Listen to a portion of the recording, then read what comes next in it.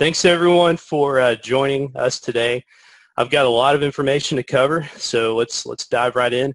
Um, kind of going back to uh, this high path avian influenza outbreak uh, in 2015, we saw different H5 strains, and it really began around December 2014, went all the way to June 2015.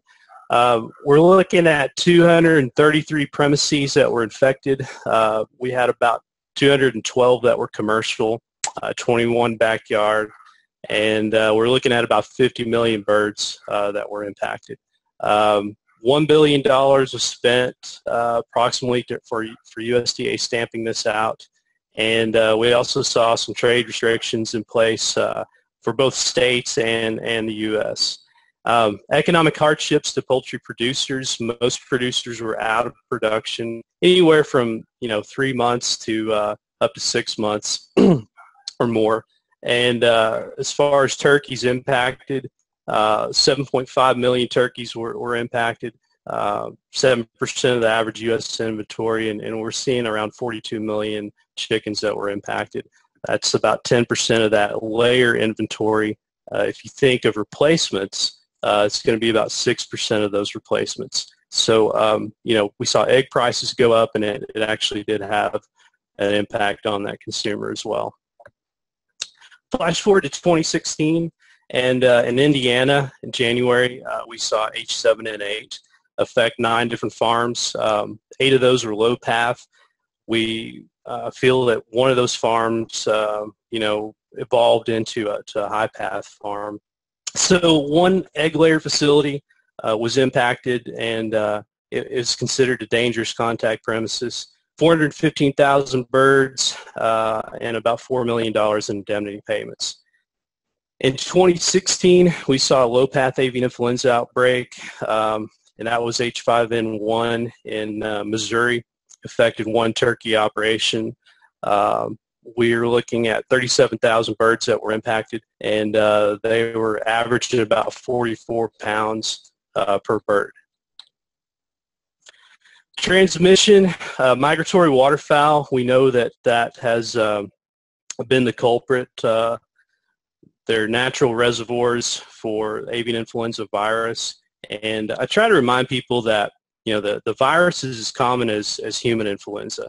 And uh, the birds naturally carry it. You see low pathogenic forms with very few clinical signs up to your high pathogenic forms where you might have upwards to, you know, close to 100% mortality on those. And what we're seeing here is the Eastern, East Asian and Australasian flyway intersecting in Alaska along with the Pacific flyways and uh, the the traditional North American low path strains uh, they're being carried up there by migratory waterfowl and uh, they're commingling with birds from Eastern Asia. We know we've had an issue with high path in Eastern Asia for a long time and, and we're currently dealing with that right now. And we see genetic reassortment occur and uh, actually this, this new strain was then carried down into North America. We started seeing that in the Pacific Northwest, uh, but the epicenter of this was in Minnesota and Iowa.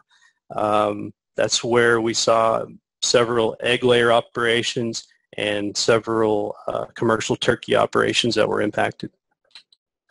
The euthanasia methods that were used during the, the outbreak include gas, foam was, was commonly used, and then uh, ventilation shutdown as a last means resort.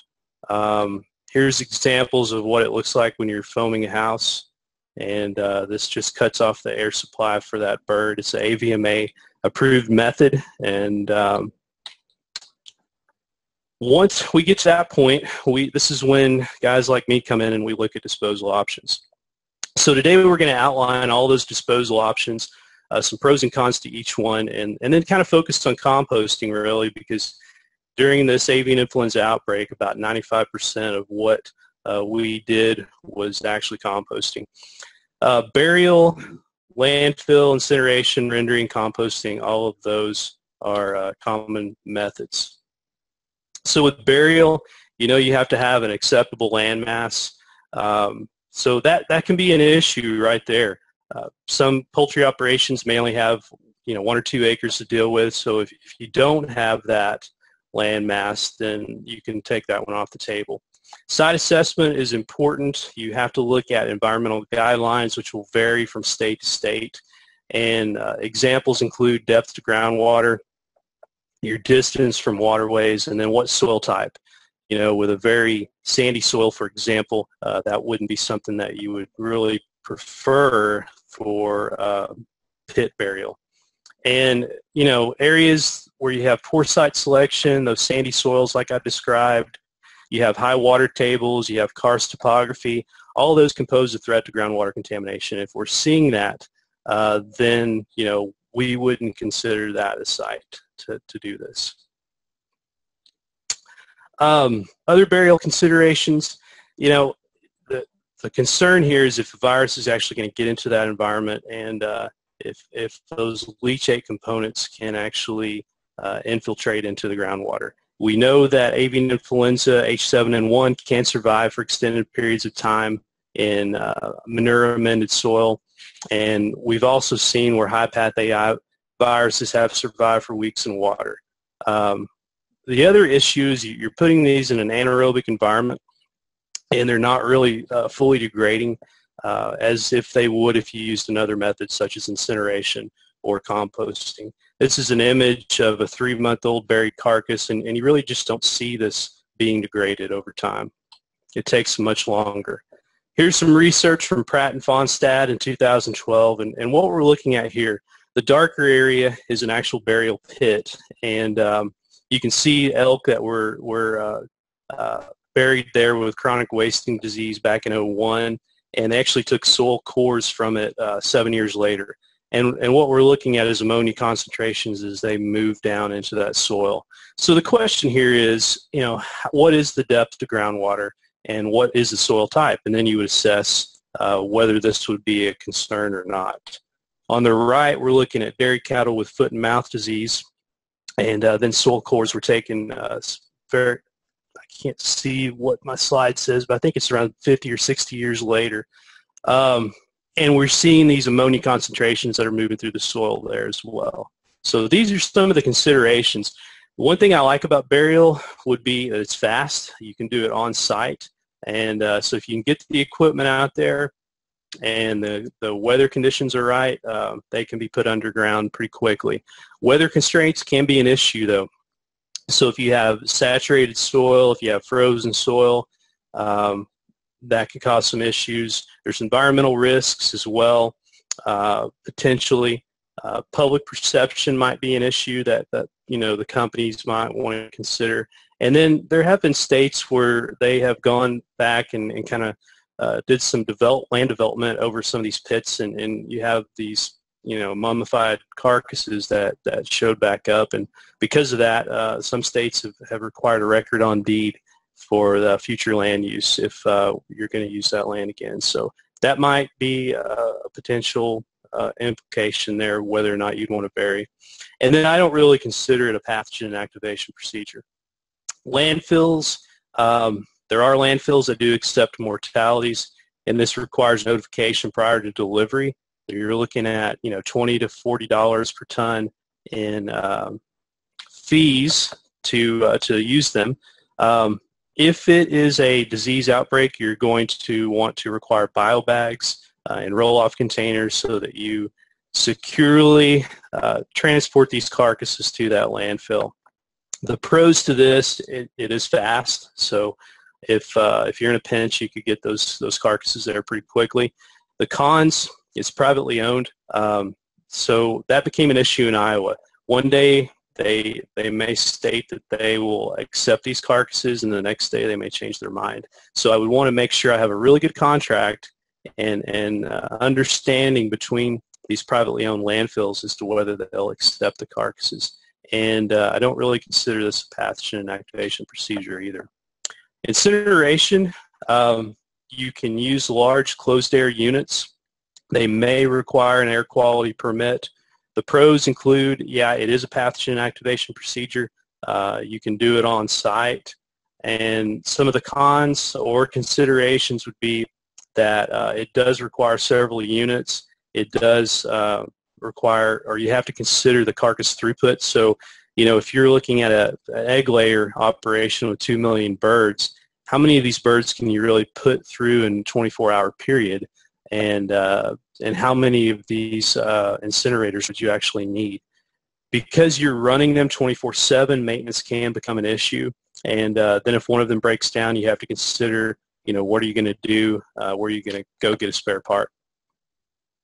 Rendering, uh, that's, that's a good option for cooking carcasses and and uh, converting them to meat and bone meal and fat as byproducts. Um, it does require biobags and, and roll-off containers.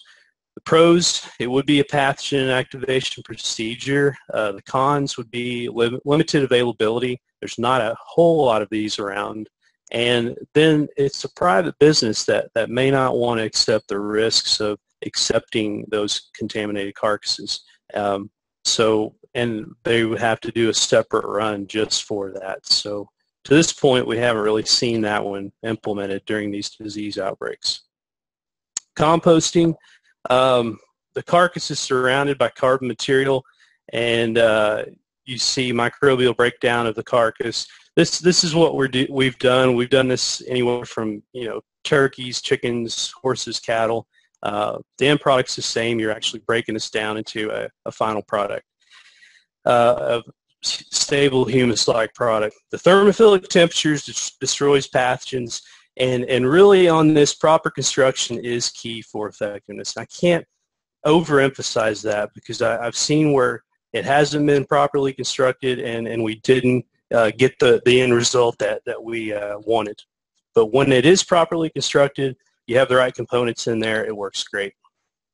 So the pros to composting. You can do it on site, um, so you're not moving these infected carcasses off site. I do see it as a, a pathogen activation procedure because of the thermophilic temperatures that you're reaching. I think it's environmentally sustainable because instead of sending all these carcasses to, let's say, a landfill, uh, you're actually retaining that material and you're producing a valuable soil amendment and, and a fertilizer. The cons include um, it's going to take some time. You know, you're going to have to devote 28 days to this and you're going to have to have some space to do it. So, you know, if you're talking turkey houses, you've got plenty of space inside. Uh, if you, you look at something like broiler breeders, then, then we start, you know, getting on the fence as to what we should do. But again, proper construction, proper maintenance, and, and monitoring are all fundamental for this to work effectively. Regardless of the plan, uh, keep all the options on the table and um, because you may not be able to to compost, uh, you may not be able to bury, so you need to during a large outbreak. More than likely, you'll be implementing several methods, and uh, each of these have pros and cons, like I mentioned.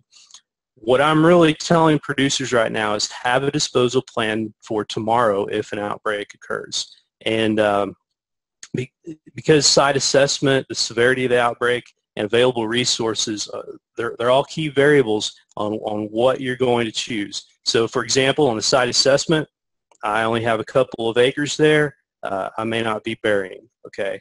If uh, during a, a, large outbreak, um, we may have taken all our carbon resources and uh, we don't have any more, so composting's off the table.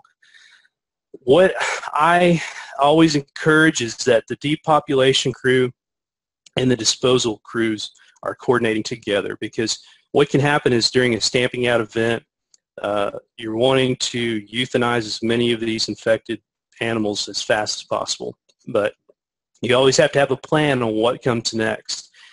And the last thing you want are a bunch of euthanized uh, animals that, that are just, you know, degrading uh, there. So always have that disposal plan that's going to quickly, very quickly immediately, if you will, follow that depopulation plan. And if you're composting, have a carbon source en route. If you're considering this, I'll get on the phone today, start calling suppliers, seeing what they have, and, and maybe getting some, some agreements made.